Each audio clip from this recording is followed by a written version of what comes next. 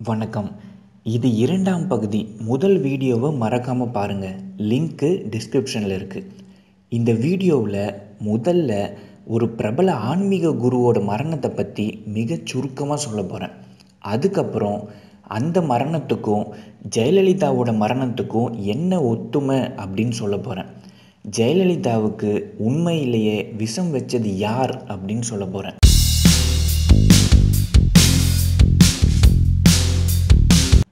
ஆயிரத்தி தொள்ளாயிரத்தி எழுவதுகளில் பிரபலம் அடைஞ்ச ஆன்மீக குரு ராஜ்னீஷ் ஓஷோ. ஆயிரத்தி தொள்ளாயிரத்தி எழுவத்தி நாலு முதல் எண்பத்தி ஒன்று வரைக்கும் பூனேயில் ஆசிரமம் நடத்திட்டு வந்தார். எண்பத்தி ஒன்றுலேருந்து எண்பத்தி அஞ்சு வரைக்கும் அமெரிக்காவில் ஆசிரமம் நடத்திட்டு வந்தார். அமெரிக்காவில் ஆரிகான் அப்படின்ற பகுதியில் அறுபத்தைந்தாயிரம் ஏக்கர் நிலத்தில் ஆசிரமத்தை அமைச்சு அங்கே ஒரு சாம்ராஜ்யத்தையே அமைச்சார். அவரோட சித்தாந்தங்களில் அமெரிக்க மக்கள் அதிக அளவில் ஈர்க்கப்பட்டாங்க. அவர் அனைத்து மதங்களையும் கடுமையாக விமர்சித்து பேசினார். மதங்கள் தான் மனுஷனை மிருகமாக்குச்சு. மதங்களை வச்சு அரசியல்வாதிகள் மக்களை தங்கள் கட்டுப்பாட்டுக்குள்ள அடிமைகளாக வச்சுருக்காங்க. குறிப்பாக அமெரிக்காவில் பெரும்பான்மை மக்கள் பின்பற்றும் கிறிஸ்துவ மதத்தை மிகவும் கடுமையாக விமர்சித்து பேசினார். இதனால் ஆத்திரம் அடைந்த மதவாதிகள் அரசாங்கத்தை ஏவி விட்டு ஓஷோ மீது பொய் வழக்கு போட்டு கைது செஞ்சாங்க. பன்னெண்டு நாட்கள் சிறையில் இருந்த பிறகு ஜாமீன் கொடுத்து விடுதலை செஞ்சாங்க. அந்த பன்னெண்டு நாட்களில் எந்த காரணமும் இல்லாமல் ஆறு சிறைகளுக்கு அவர் மாற்றப்பட்டார். கோர்ட்டில் ஜாமீன் கொடுத்ததுக்கப்புறம் அங்கேருந்து நேராக அவர் விமான நிலையத்துக்கு கூட்டிகிட்டு போனாங்க. உடனடியாக இந்தியாவுக்கு விமானத்தில் அனுப்பி வச்சுட்டாங்க. அமெரிக்காவில் அவரோட ஆசிரமத்தையும் அழிச்சிட்டாங்க. இந்த பன்னெண்டு நாட்கள் சிறைவாசத்துக்கு அப்புறம் அவரோட உடல் நலம் படிப்படியாக மோசமாச்சு. தன்னோட ஐம்பத்தி எட்டாவது வயதில் இருதயம் செயலிழந்து அவர் இறந்து போனார். மருத்துவர்கள் அவரோட உடலில் விஷம் இருக்கிறத கண்டுபிடிச்சாங்க. அமெரிக்க சிறையில் கதிர்வீச்சின் மூலம் அவருக்கு ஸ்லோ பாய்சன் கொடுத்துருக்காங்க அப்படின்னு ஓஷோ சொல்லியிருக்காரு. இதே மாதிரி தான் ஜெயலலிதாவோட மரணமும் நடந்திருக்கு. இருபத்தி ஏழு செப்டம்பர் ரெண்டாயிரத்தி பதினாலில் ஜெயலலிதா சொத்து குவிப்பு வழக்கில் சிறைக்கு போகிறாங்க இருபது நாட்கள் சிறையில் இருந்ததுக்கப்புறம் பதினேழு அக்டோபர் அன்னைக்கு ஜாமீனில் சிறையிலிருந்து விடுவிக்கப்பட்டார். சிறையில் இருந்த காலகட்டத்தில் அவருக்கு ஓஷோவுக்கு கொடுக்கப்பட்டது மாதிரி கதிர்வீச்சின் மூலம் ஸ்லோ பாய்சன் கொடுக்கப்பட்டிருக்கு. கர்நாடகாவில் காங்கிரஸ் ஆட்சி தான் நடந்துக்கிட்டு இருக்கு.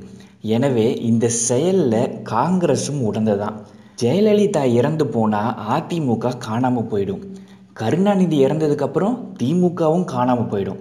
அதுக்கப்புறம் தமிழகத்தில் காங்கிரஸ் பிஜேபி ரெண்டு பேருமே கால் ஊன்றலாம் அப்படின்ற காரணத்தினால தான் காங்கிரஸும் பிஜேபியோட திட்டத்துக்கு சம்மதம் தெரிவித்தாங்க சிறையிலிருந்து வந்ததுக்கப்புறம் ஜெயலலிதாவோட உடல்நலம் படிப்படியாக மோசமாகிக்கிட்டே இருந்தது. தன்னோட கடைசி ஆண்டில் சட்டசபையிலும் நிகழ்ச்சிகளிலும் தேர்தல் பிரச்சார மேடைகளிலும் ஜெயலலிதா உட்காந்துக்கிட்டு தான் பேசினாங்க. நீண்ட நேரம் நிற்க முடியல. நடக்கிறதுக்கு ரொம்பவும் சிரமப்பட்டார். ஆர்கே நகரில் நடந்த நிகழ்ச்சியில் மேடைக்கு வர்றதுக்கே லிஃப்ட் அமைச்சாங்க. வீடியோ கான்ஃபரன்சிங் மூலமாக உட்காந்துக்கிட்டு தான் பல்வேறு திட்டங்களை அவர் தொடங்கி வச்சார்.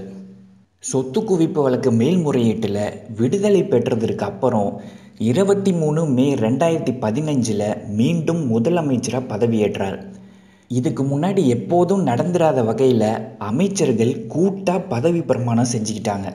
மொத்த பதவியேற்பு விழாவும் வெறும் இருபத்தி ஏழு நிமிடங்கள்லேயே முடிஞ்சு போச்சு. ஜெயலலிதாவால் அதிக நேரம் உட்கார முடியாது அப்படின்ற காரணத்தினால தான் இந்த ஏற்பாட்டை செஞ்சுருந்தாங்க. ரெண்டாயிரத்தி பதினாறு மே மாத தேர்தலில் ஜெயிச்சதுக்கப்புறம் நடந்த பதவியேற்பு விழாவும் இப்படி தான் நடந்தது. இப்படி ஜெயலலிதாவோட உடல்நிலை படிப்படியாக மோசமடைஞ்சு செப்டம்பர் இருபத்தி ரெண்டில் அப்போலோவில் அனுமதிக்கப்பட்டார். டிசம்பர் அஞ்சில் இதயம் நுரையீரல் உட்பட பல உறுப்புகள் செயலிழந்து மரணம் அடைஞ்சார் இருபது நாட்கள் சிறையிலிருந்து வந்ததுக்கப்புறம் இரண்டே ஆண்டில் ஜெயலலிதாவோட மரணம் நடந்திருக்கு. சிறைக்கு போகிறதுக்கு முன்னாடி ஆரோக்கியமாக இருந்த ஜெயலலிதாவோட உடல்நலம் அடுத்த ரெண்டே வருஷத்தில் எப்படி இவ்வளோ மோசமாச்சு அப்படின்ற கேள்வியும் எழுதே அந்த கேள்விக்கு சிறையில் கதிர்வீச்சின் மூலமாக ஸ்லோ பாய்சன் கொடுக்கப்பட்டிருக்கலாம் அப்படின்ற பதிலும் நமக்குள் எழலாம். ரெண்டாயிரத்தி பன்னெண்டு தெகல்கா நாளிதழில் சசிகலா மற்றும் குடும்பத்தினர் ஜெயலலிதாவை விஷம் வச்சு கொல்ல பார்க்குறாங்க அப்படின்னு செய்தி வெளியிட்டாங்க. இதோட உண்மையான பின்னணி தான் என்ன? இதுக்கு பின்னாடி மோடியோட சதி திட்டம் இருந்ததா? இன்னும் பல திடுக்கிடும் தகவல்கள் இருக்குது திட்டமிட்டு உண்மையை நம்மக்கிட்ட இருந்து மறைச்சி தவறான தகவலை திணிச்சிருக்காங்களா அப்படின்ற சந்தேகத்தை இன்னும் அதிகப்படுத்தும். ஓரிரு தினங்களில் அடுத்த வீடியோவில் சந்திக்கிறேன். உங்களோட கருத்துக்களை மறக்காமல் பதிவு பண்ணுங்கள் இதை கேட்ட அனைவருக்கும் நன்றி வணக்கம்.